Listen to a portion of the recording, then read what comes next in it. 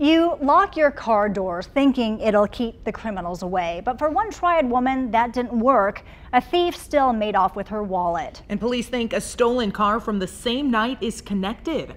WFMY News 2's Marissa Tansino spoke with the Mebane woman who lost her wallet and everything in it. You just don't think it would happen to you. But it did.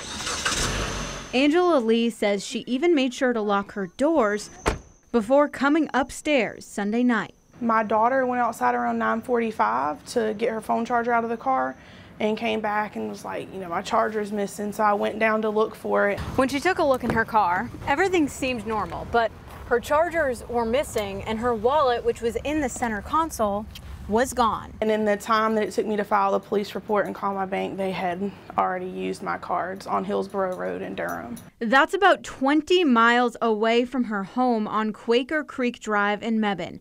Luckily, only $11 was spent on her card, but she's uneasy knowing her information, including her driver's license, is in someone else's hands. Now, I was walking my dogs yesterday. You catch yourself kind of looking over your shoulder.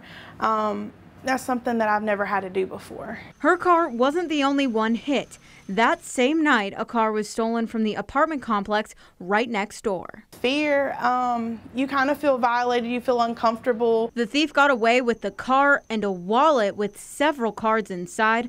Police reports show charges were made to some of the cards also in Durham. Police believe the crimes are connected but have very limited information. People have kids, people have families, and then someone who just doesn't want to work or doesn't have anything better to do with their time just comes and takes something that doesn't belong to them. So it's disheartening.